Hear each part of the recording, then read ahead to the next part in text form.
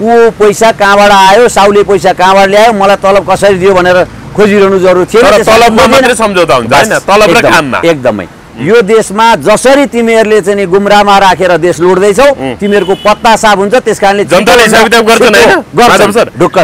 मैले अघि बुझ्न खोजेको त्यसो भए एउटा कुरा चाहिँ मान्छेहरूले कसरी पनि भन्नाले तर्क गर्छन् भने हजुर।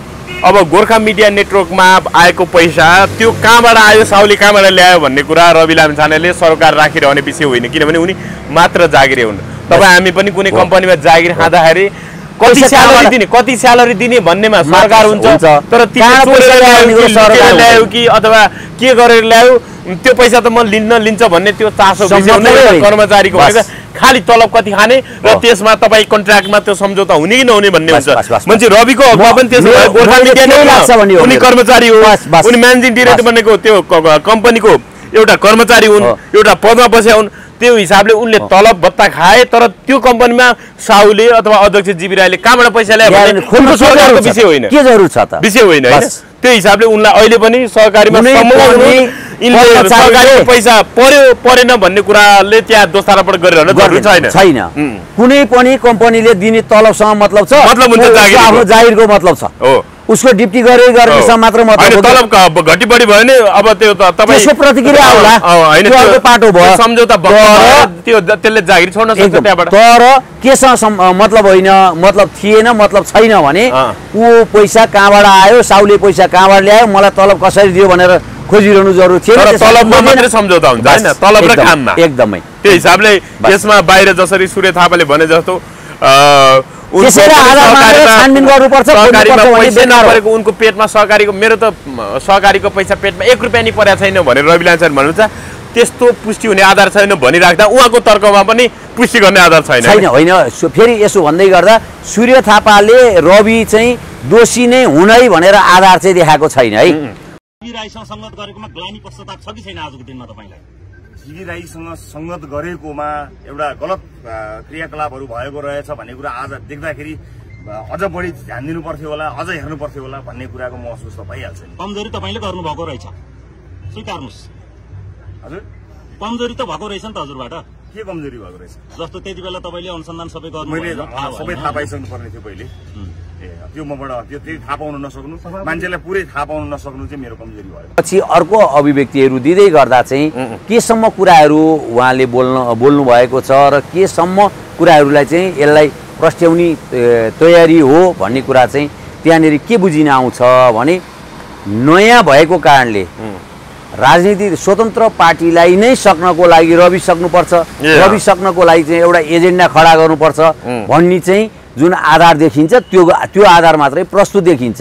जहाँ सूर्य थापाले नै चाहिँ फेरि रवि दोषी हो यो हन्ड्रेड पर्सेन्ट नै दोषी हो यसलाई कारवाही गर्नुपर्छ भनेर अभिव्यक्ति दिएको देखिँदैन र पाइँदैन। रह्यो कुरो। रह्यो कुरो के हो भने जहाँसम्म रवि लामिछाने भएको संस्था त्यो संस्थामा आबद्ध भएको संस्थामा आएको पैसा कहाँबाट आयो कहाँबाट आएन कहाँबाट ल्यायो कहाँबाट ल्याएन खोजिनु पर्थ्यो आएको छानबिन हुनु पर्थ्यो त्यस्ता खालका चाहिँ तर्क जुन राखिएको छ नि त्यो आवश्यक होइन। अहिले देशभरिका सहकारीबाट जनता पीडित छन्। त्यो पीडित जनतालाई न्याय दिनुपर्छ भन्ने पहिलो प्राथमिकता सरकारको हुनुपर्छ। र जनतालाई न्याय दिने सवालमा जनताले न्याय दिए भन्दा पनि रवि मात्रै रविको पछि लाग्यो हो यो समिति। रविलाई पछाडि लखेटिरहनुको पछाडि चाहिँ के छ भने जनतालाई न्याय चाहिए चाहिएको होइन कि? जनतालाई न्याय दिनको लागि यो सरकारले खोजिरहेको होइन। मात्र कसरी हुन्छ? रवि सिद्ध्याएपछि ए, रासपा पार्टीहरू, रासपा भएका नयाँ व्यक्तिहरू जहाँ सकिन्छन् त्यसपछि उनीहरूको चाहिँ वर्चस्व कायम रहन्छ सहकारी एउटा विषय हो।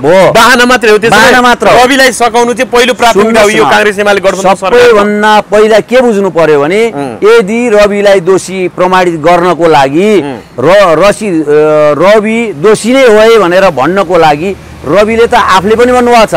म चितवनको पनि के पोखराको सहकारीमा पनि मेरो संलग्नता छैन। र त्यहाँ पैसा मैले लिएको नि होइन बुझेको नि होइन र बुझेको पनि छैन। रविको। रविले लिएको छैन भन्दा भन्दै त्यहाँ रविकै नाममा ऋण लिएको छ पनि भन्ने। अनि मिडिया ग्रुपमा गएपछि त खाइहाल्यो नि। त्यस्तो द्वैय चरित्र गरेर तर्क गरेर पाइन्छ। रवि लामी छाने पोखरामा पोखराको एउटा ठेगाना बुटोलमा फेरि अर्को ठेगाना।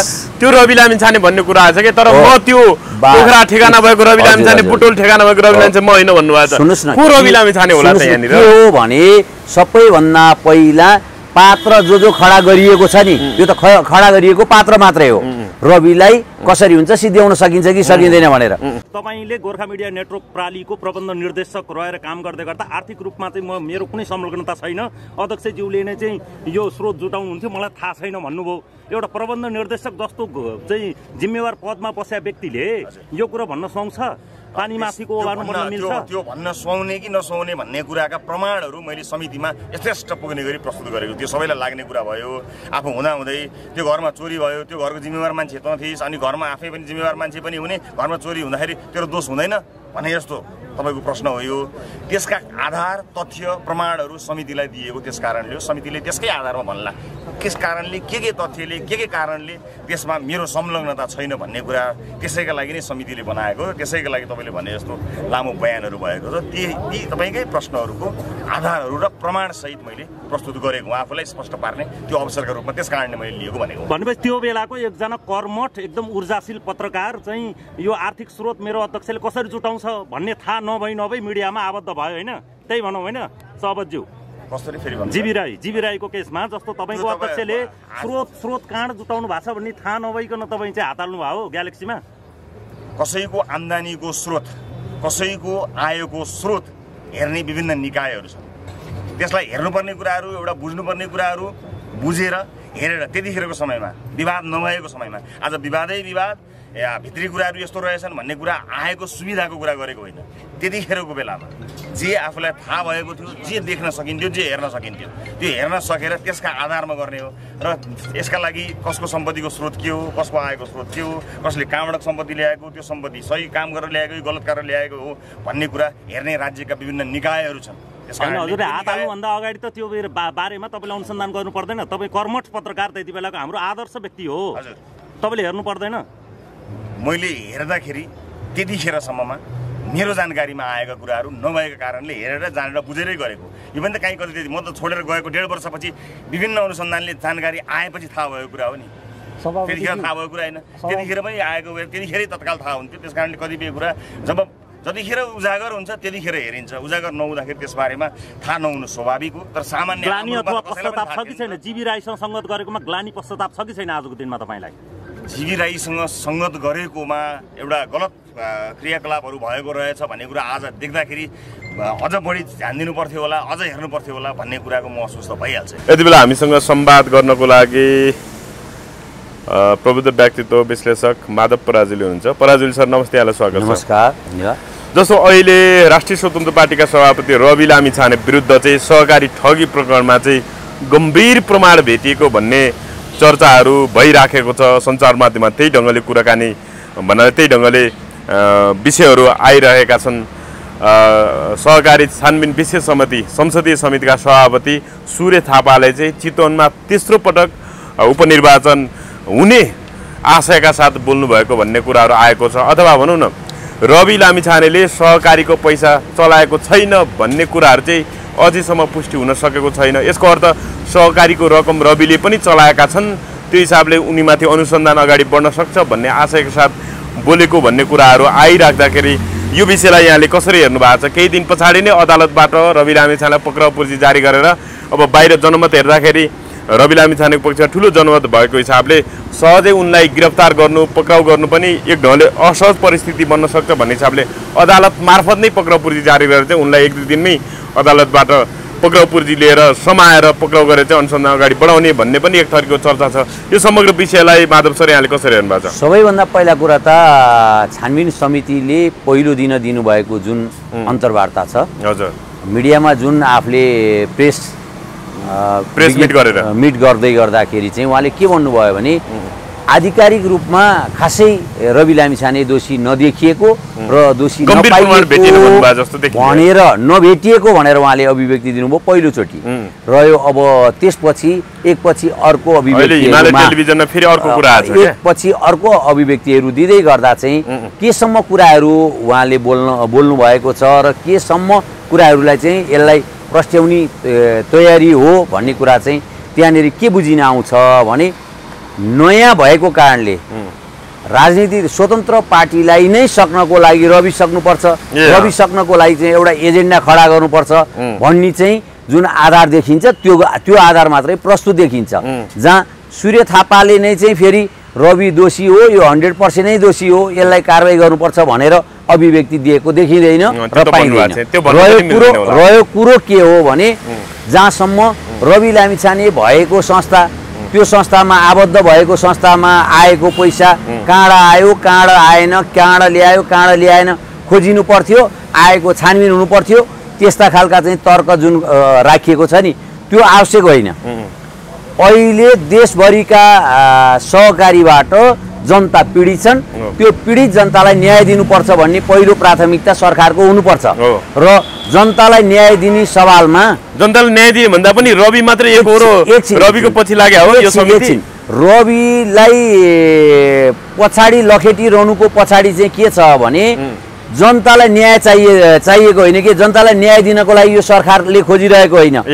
मात्र कसरी हुन्छ रवि सिद्ध्याएपछि ए, रासपा पार्टीहरू, रासपा भएका नयाँ व्यक्तिहरू जहाँ सकिन्छन् त्यसपछि उनीहरूको चाहिँ वर्चस्व कायम रहन्छ सहकारी एउटा विषय हो। बाहना मात्रै हो। बाहना मात्र। रविलाई सकाउनु चाहिँ पहिलो प्राथमिकता हो। यो काङ्ग्रेस एमाले सरकार सबैभन्दा पहिला के बुझ्नु पर्यो भने यदि रविलाई दोषी प्रमाणित गर्नको लागि र रसी रवि दोषी नै है भनेर भन्नको लागि रविले त आफूले पनि भन्नुभएको छ। म चितवनको पनि के पोखराको सहकारीमा पनि मेरो संलग्नता छैन। र त्यहाँ पैसा मैले लिएको नि होइन बुझेको नि होइन र बुझेको पनि छैन। रविको। रविले लिएको छैन भन्दा भन्दै त्यहाँ रविकै नाममा ऋण लिएको छ पनि भन्ने। अनि मिडिया ग्रुपमा गएपछि त खाइहाल्यो नि। त्यस्तो द्वैय चरित्र गरेर तर्क गरेर पाइन्छ। रवि लामी लिएको छाने छ। पोखरामा पोखराको एउटा ठेगाना बुटोलमा फेरि अर्को ठेगाना। त्यो रवि लामी छाने भन्ने कुरा आएछ कि तर। म त्यो पोखरा ठेगाना भएको रवि लामी छाने। बुटोल ठेगाना भएको रवि। लामी छाने म होइन भन्नुभएको छ को रवि लामी छाने होला यहाँनिर हो भने सबैभन्दा पहिला पात्र जो जो खडा गरिएको छ नि त्यो त खडा गरिएको पात्र मात्रै हो रविलाई कसरी हुन्छ सिद्ध्याउन सकिन्छ कि सकिँदैन भनेर। रवि सिद्ध्याउने एजेन्डा मात्रै हो यो। यहाँनिर म अर्को। माधवजी अर्को विषय प्रवेश हजुर, जस्तो अहिले चाहिँ संसदीय समितिले चाहिँ कसरी पनि रविको संलग्नता छ भनेर त्यो आशयका साथ बोलिरहेको छ भने जस्तो Gorkha media network Gorkha media network प्रणाली भनेको ग्यालेक्सी टेलिभिजन खोल्नको लागि खडा गरिएको अथवा स्थापना गरिएको कम्पनी हो हजुर। Gorkha media net Gorkha media network प्रणालीको प्रबन्ध निर्देशक अथवा म्यानेजिङ डिरेक्टर रवि लामिछाने हुनुहुन्थ्यो। र त्यो गोर्खा मिडियाको चेकमा चाहिँ रविको अनि अर्को एकजनाको र त्यसपछि जीवी राईको सिग्नेचर चलेपछि मात्रै अथवा उनको हस्ताक्षर भएपछि मात्रै त्यहाँ कारोबार हुन्थ्यो त्यो हिसाबले गोर्खा मिडियामा गएको पैसा सहकारीकै पैसा हो त्यो हिसाबले त्यो हिसाबले। त्यो हिसाबले सहकारीको पैसा रविले चलाएको छ? भने नि। के हो भने तपाईँले कतिवटा कम्पनी चलाउनुहुन्छ सँगको मतलब भएन कि तपाईँले के के गर्नुहुन्छ भन्ने सवा- सवाल चाहिँ राज्यसँग त्यो जोडिँदैन। जोडिन्छ त पहिला त्यो सहकारी ठगीको कुरो जोडिन्छ त्यसपछि रवि लामिछाने जोडिन्छ। रवि लामिछानेले सहकारीको पैसा हिना महिना गरेको प्रुफ र प्रमाण यदि दिन सक्छ सरकारले भने छोड्नै हुँदैन। किनकि जनताको पैसा रविले चाहिँ मासेर खान पाउनुपर्छ रविले लिएर खान पाउनुपर्छ भन्ने तर्क होइन। तर रविलाई पैसा दिने सहकारीको सञ्चालक पहिला थुन्नुपर्छ। बिना धितो बिना प्रमाण बिना निर्णय किन पैसा दियो? त्यसको जसले जुन सहकारीले त्यो गोर्खा मिडिया पैसा खन्यायो त्यो जिम्मेवार हो। गोर्खा मिडियामा भएन गोर्खा मिडियामा आएको पैसाको विषय उनले चलाउन पाए उनको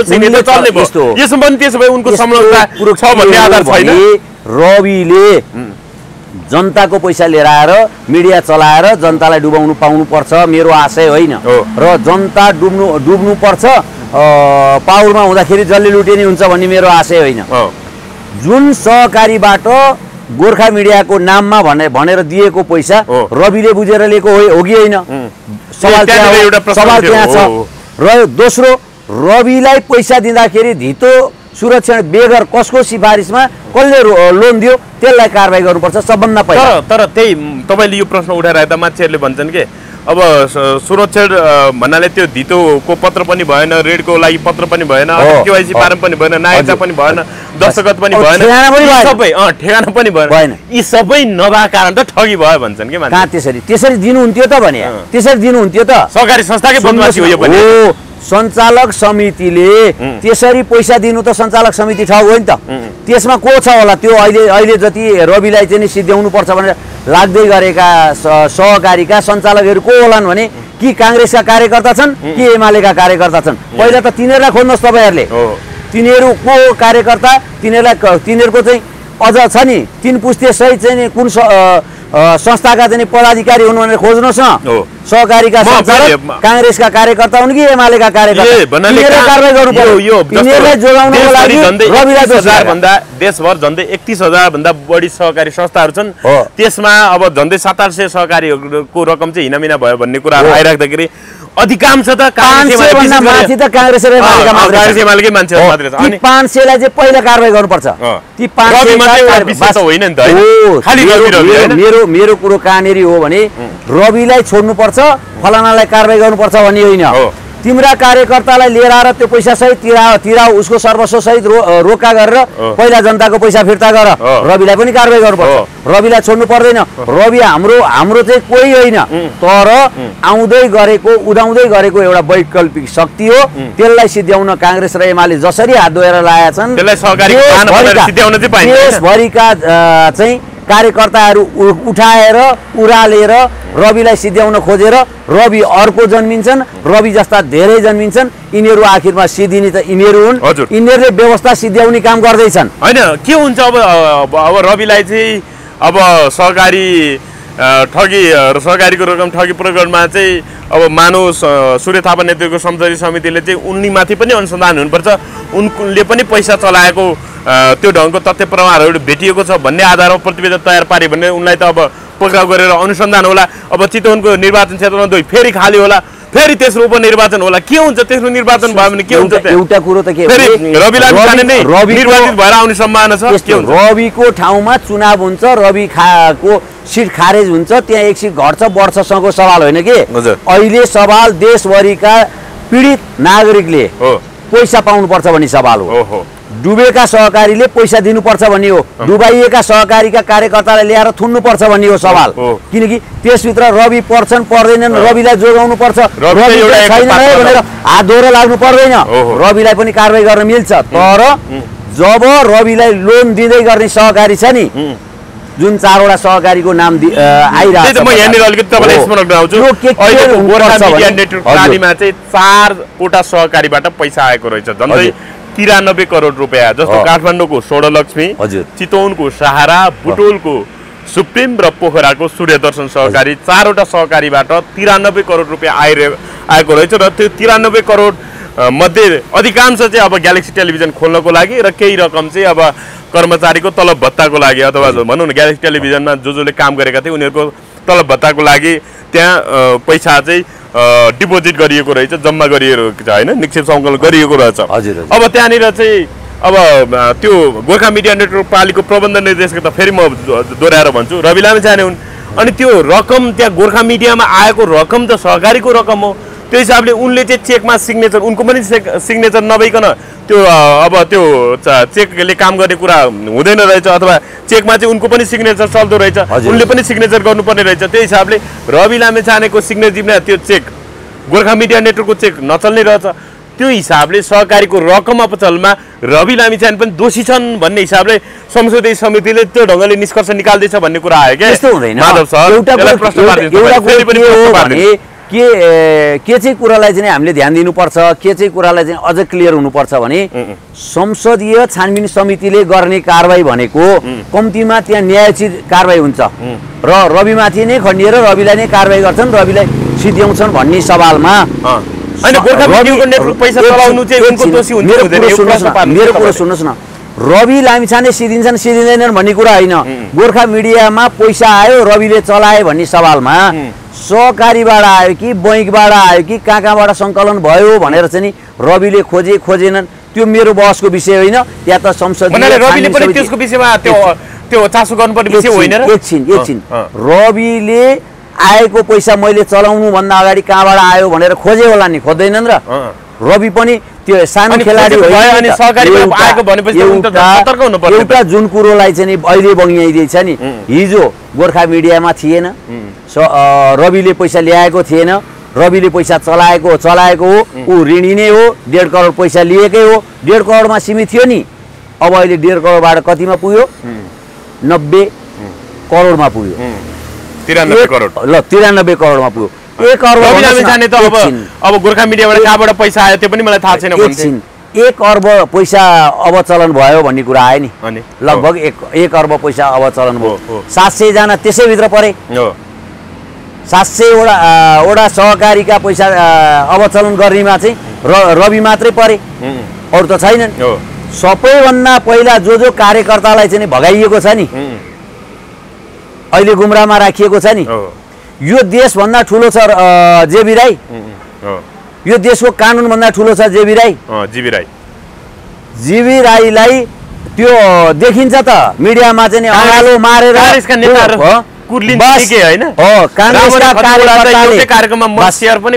हो, गरेका थिएँ। मात्रै होइन यत्रो फुलको गुच्छा लिएर चाहिँ आदान प्रदान गरेका थिए। तिनीहरू अहिले अहिलेसम्म ल्याउन सक्दैनन्। कतै रामोरीले लुकाएको होइन? गृहमन्त्री गृहमन्त्री भएका बेला रविलाई आज आज भोलि पर्सि हुँदै संसद अवरोध गरेको चाहिँ नि बिर्से अनि? अहिले त उनी नै छन् नि त गृहमन्त्री। काङ्ग्रेसकै। जसले जसले चाहिँ संसदमा ठुल्ठुलो स्वरले कुर लिएर उम्, छानबिन समिति गठन गर्नै पर्छ कारवाही गर्नै पर्छ भन्ने छ नि। अब त छानबिन समिति गठन भयो पहिला त जे जेबी राई ल्याउनु पर्यो। त्यसपछि छानबिन पनि गर्नु पर्यो छानबिन भइरहेछ कारवाही पनि गर्नु पर्यो। मात्र रविलाई कारवाही गर्न सकिनेवाला छैन। तिम्रा कार्यकर्ता ल्याएर कारवाही गर। पहिला काङ्ग्रेस एमालेका त्यो हजारौँ कार्यकर्ता ल्याएर पर्यो। आउनु पर्यो। अनि त्यसपछि रविलाई छोड्नु पर्दैन रविलाई पनि कारवाही गरिदेऊ। अर्को रवि जन्मिन्छ के हो। भइछ र नि? प्रमाण छ तर- यो देशमा जसरी तिमीहरूले चाहिँ नि गुमरामा राखेर देश लुट्दैछौ तिमीहरूको पत्ता साफ हुन्छ त्यस कारणले जनताले मैले अघि बुझ्न खोजेको त्यसो भए एउटा कुरा चाहिँ मान्छेहरूले कसरी पनि भन्नाले तर्क गर्छन् भने हजुर। अब गोर्खा मिडिया नेटवर्कमा आएको पैसा त्यो कहाँबाट आयो साउली कहाँबाट ल्यायो भन्ने कुरा रवि लामिछानेले सरकार राखिरहने विषय होइन किनभने उनी मात्र जागिरे हुन्। तपाईँ हामी पनि कुनै कम्पनीमा जागिर खाँदाखेरि कति स्यालेरी दिने कति स्यालेरी दिने भन्नेमा सरकार हुन्छ। तर ल्यायो कि अथवा के गरेर ल्यायो त्यो पैसा त म लिन्न लिन्छ भन्ने त्यो चासो। कर्मचारीको खालि तलब कति खाने र। त्यसमा तपाईँ कन्ट्र्याक्टमा त्यो सम्झौता हुने कि नहुने भन्ने हुन्छ मान्छे। रविको हकमा पनि त्यसो मेरो- भयो गोर्खा मैले मिडिया त्यही लाग्छ भन्ने हो उनी। कर्मचारी हो। उनी म्यानेजिङ डिरेक्टर। बनेको त्यो कम्पनीको एउटा कर्मचारी हुन्। एउटा पदमा बस्या हुन् त्यो हिसाबले उनले तलब भत्ता खाए तर त्यो कम्पनीमा साहुले अथवा अध्यक्ष जीवी राईले कहाँबाट पैसा ल्यायो ल्याएर विषय? होइन विषय होइन। त्यो हिसाबले उनलाई अहिले पनि सहकारीमा सरकारको पैसा पर्यो परेन भन्ने कुराले त्यहाँ दोस्तारोपण गरिरहन जरुरी छैन छैन. कुनै पनि कम्पनीले दिने तलबसँग मतलब छ मतलब हुन्छ। आफ्नो जागिरको मतलब छ उसको डिप्टी गरे गरेसँग मात्र मतलब। तलब घटी बढी भयो भने अब त्यो त्यसको प्रतिक्रिया आउला। होइन पाटो भयो। सम्झौता त्यो त्यसले जागिर छोड्न सक्छ त्यहाँबाट तर केसँग मतलब होइन मतलब थिएन मतलब छैन भने। ऊ पैसा कहाँबाट आयो साउले पैसा कहाँबाट ल्यायो मलाई तलब कसरी दियो भनेर खोजिरहनु जरुरी त्यसमा तलबमा। मात्रै सम्झौता हुन्छ होइन? तलब र काममा एकदमै। त्यो हिसाबले। यसमा बाहिर जसरी सूर्य थापाले भने जस्तो अ,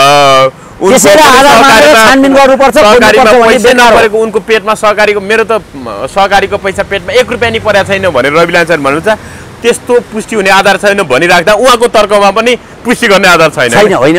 फेरि यसो भन्दै गर्दा सूर्य थापाले रवि चाहिँ दोषी नै हुनै भनेर आधार चाहिँ देखाएको छैन है? किनकि पहिलो दिन जुन बेला चाहिँ नि प्रेस मिट गर्दाखेरि बस सकेर बयालिस बुदा कि बाहन्न बुदा बा- एकाउन्न-। हो। प्रस्तुतिमा त्यस खासै हामी एकदम दुइटैको चाहिँ सहमतिमा क्रिया प्रतिक्रिया भयो। सकारात्मक भयो नकारात्मक कुरा। छैन र उनी दोषी देखिँदैनन् यसमा भनिएको छ। रह्यो अब अर्को तपाईँले अहिले भन्दै गरेका कुरामा एकदम क्लियर अहिले पनि हुनुपर्ने कुरा के हो र जनतालाई अझै पनि जनताको पैसा जस्ताको तस्तै फिर्ता गराउने काम सरकारले गर्नुपर्छ।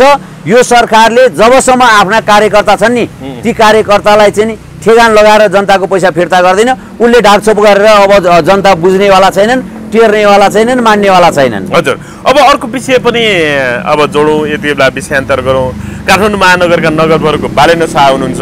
हजुर। आजभन्दा पाँच दिन अगाडि मात्रै उहाँले सामाजिक सञ्जाल फेसबुक मार्फत एउटा दरिलो स्ट्याटस लेख्नु भएको थियो। नेकपा एमालेकी प्रदेश सांसद लुम्बिनी प्रदेश सांसद रेखा कुमारी शर्माले चाहिँ एकजना नाबालिग किशोरीलाई चाहिँ घरेलु कामदारको रूपमा राखेर चाहिँ घरेलु हिंसा गरेको शारीरिक मानसिक यातना दिएको भन्ने कुराहरू आइरहेको थियो।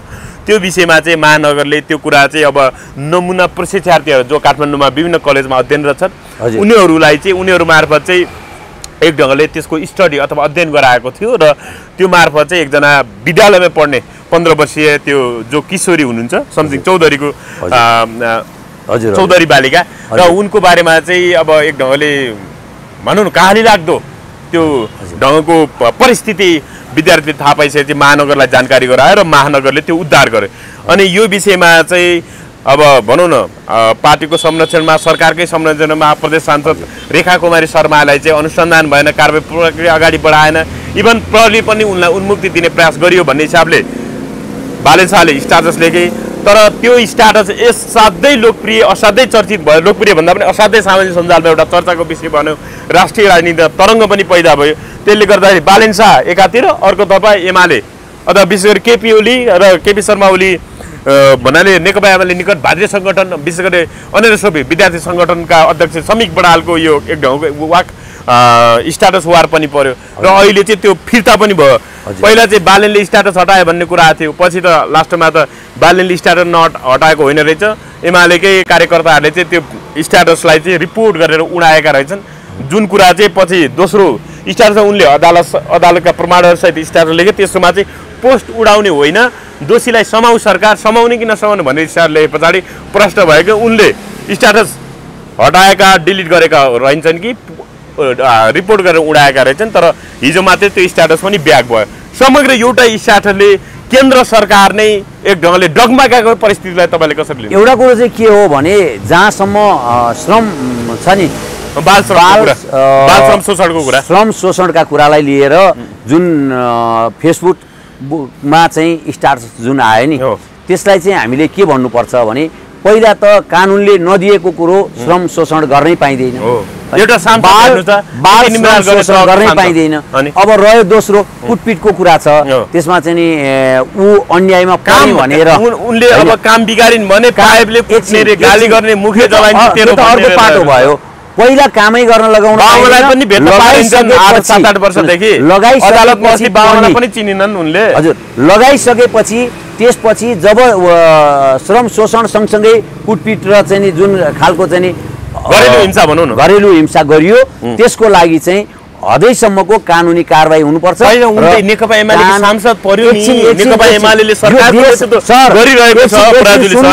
यो देश- नेकपा एमालेको मात्रै होइन। नेकपा एमालेको- होइन यो। त्यस कारणले के भने नागरिकले स्वतन्त्र रूपमा बाँच्न पाउनुपर्छ। यो देशमा सबै नागरिकले चाहिँ यहाँको कानुनभित्र रहेर आफ्नो अधिकार सहित चाहिँ स्वतन्त्र ढङ्गले तर तर सुन्नुहोस् तपाईँले अहिले देशमा? सांसद परिन् भन्नुभयो नि हामीले कुनै बेला गृह मन्त्रालयको इन्सपेक्टरको घरबाट छतबाट चाहिँ थुतेर तल खसालेको रेकर्ड छ हामीसँग। र बौद्ध प्रहरीले को चाहिँ शान्ति सुरक्षा टोलीले चाहिँ पुरा चाहिँ नि घेराभित्र राखेर चाहिँ नि इन्सपेक्टर बचाएको अवस्था छ सर। त्यति सजिलो छैन। नागरिक नउठन्जेलसम्म मात्रै हो। नागरिक उठेपछि त्यति सजिलो छोड्दैन। भनेपछि यसरी अब आफूले सरकारको नेतृत्व गर्यो भन्दैमा आफ्नो कार्यकर्ताले गलत गरे पनि अनदेखा गर्ने भयो भने नागरिक पछि मञ्च टुडी खेलबाट सुरु भइसक्यो हुन्छ। कुनै बेला मै यही काठमाडौँको चाहिँ नि नागरिक समाजको चाहिँ बागमती इन्चार्ज हुँदा बागमती अञ्चल म इन्चार्ज हुँदाखेरि मैले नै इन्सपेक्टरलाई चाहिँ माथि घरबाट निकालेर बाहिर ल्याएको छु सर? इन्सपेक्टरको घरबाट बालवाला खोजेका छैनौँ। नागरिकले न्याय पाउनुपर्छ भन्ने खोजेका हौँ। नागरिकलाई न्याय दिने। चिन्ता छैन त्यो सांसदको विषय कारवाही हुनुपर्ने विषय छैन एक अर्कामा बालनको- सवाल गर्दा के हो भने। यो देशको एउटा चाहिँ जल्लो बल्दो चाहिँ नि युवा सशक्त चाहिँ मेयर हो। अनि? बालेनले बालेनको नगरपालिकाभित्र? महानगरपालिकाभित्र कुनै पनि मजदुर श्रम शोषणमा पर्यो भनेर गयो भने कानुनी कारवाही गर्न त बालेनले पाउँछ। हो। किनकि मेयर। उद्धार गर्दा त प्रधानमन्त्री दिने। अनि? र अब काठमाडौँ सिडिओ कार्यालयमा भएको बाल बालिका खोज तलास केन्द्रले के हेरिरहेछ त्यहाँ समन्वय कार्यालय छ त्यो कार्यालयले के गरिरहेछ त्यो विषयमा त अझ चासो दिनुपर्ने र प्रधानमन्त्रीले चाहिँ नि धन्यवाद दिनु पर्थ्यो जुन भएको कुरालाई चाहिँ गलत गरियो र अझ गलत व्याख्या गरेर एउटा फुच्चे मेयर भनेर तर्क गरिँदैछ नि। त्यस्तो सजिलो नसोच्नुहोस् आगोको झिल्को सानो हुन्छ। त्यो करोडौँ काँटी बन्ने सलाइको सलाई एउटा एउटा चाहिँ छ नि रुखको एउटा काँटी हो नि। तर करोडौँ काँटी बन्छ एउटा काँटीले करोडौँ सलाई बन्ने रुख चाहिँ जलाइदिन्छ। बालेनलाई सानो सलाइको तर त्यसले जलाउनु पर्यो भने त देशै जलाउँछ अहिले अब माधवजी जस्तो अहिले त उपप्रमुख सुनिता डङ्गल जो बालेनको हरेक कामलाई साथ दिँदै आउनु भएको थियो अहिले त उहाँले पनि बालेनको कामप्रति आपत्ति जनाउन थाल्नु भएको छ यहाँनिर जस्तो अहिले हामी बागमतीकै छेउमा उभिरहेका छौँ हजुर। योको दायाँ बायाँ अब। सटिन्ने यो बागमती किनारको दायाँ बिस मिटर बायाँ बिस भन्नाले वरपर बिस मिटर छोड्नुपर्ने जो नियमले चाहिँ। दसौँ हजार मानिसहरू चाहिँ एक ढङ्गले भन्दाखेरि विस्तारित हुने सम्भावना छ भन्ने हिसाबले कुराहरू आइरहेछ एमाले त अब जस्तो अस्ति मात्रै सर्वोच्च अदालतले के भने बागमतीको किनारमा बिस मिटर दायाँ बायाँ बागमती किनारबाट बिस मिटर छोड्नुपर्ने र त्यो नजिक त्यो भित्र बनेका जति पनि संरचनाहरू त्यसलाई चाहिँ क्षतिपूर्ति दिएर हटाउनको लागि भनेर सर्वोच्च अदालतले परमादेश दिएको अवस्था छ। यो सूचना चाहिँ बालनले अदालतको आदेश दिनु अदालतले आदेश दिँदै गर्न महानगर बिठी बैठक औपचारिक बैठक नराइकन सूचना बाहिर सार्वजनिक गर्दाखेरि चाहिँ बालनले बालनको विषयमा त्यहाँ ढङ्ग आलोचना पनि भयो। यो विषयलाई कसरी हेर्नु भएको छ? बागमती वरपर यो जस्तो विस्थापित गर्नु न्यायसँग त हुन्छ कि हुँदैन। होइन सबैभन्दा पहिला कुरो चाहिँ के भने सुकुम्बासीलाई बागमती किनारै दिनु पर्दैन विष्णुमती किनारै दिनु पर्दैन धोबी खोला किनार दिनु पर्दैन।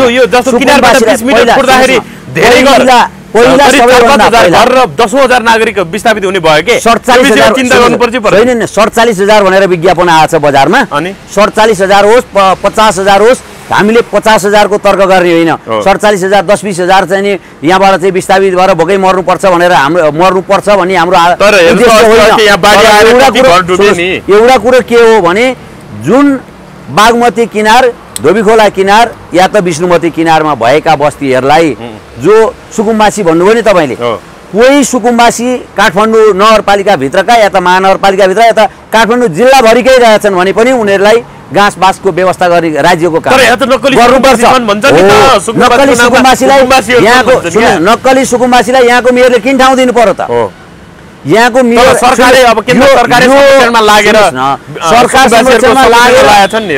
कानुनभन्दा माथि हुन्छ सरकार। सधैँ कानुनभन्दा माथि बस्न सक्छ सरकार। यो सरकार सधैँ सधैँ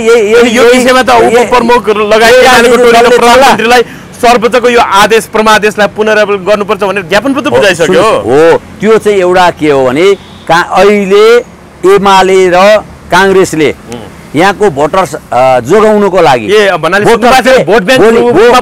भोटर्स जोगाउनको लागि यो यसलाई अहिले पुनरावलोकन गरिदिउँ है। भनेर चाहिँ नि भन्न खोजिएको मात्र हो। अँ। कानुन भन्दा माथि हो भने त भोलि भोलि तपाईँले आएर धोबी धोबी खोला किनार या त भोलि भइगयो नि त। फ्रीमा किन्न पनि परेन। परेन। यो चालिस चालिस साठी लाख आना आना पर्ने जग्गामा आएर एउटा घर बनाएर बसे भइगयो नि त। त्यस कारणले के हो भने सार्वजनिक सम्पत्ति भने सार्वजनिक सम्पत्ति हुन्छ राज्यको सम्पत्तिमा कसैले आँखा लगाउँदैमा छोडिदिनुपर्छ भन्ने भने हुँदैन अन्तत गत यो समाधान पर्छ। सर्वोच्च अदालतको प्रमादेश जुन आदेश आयो त्यो सराहनीय छ? एकदम।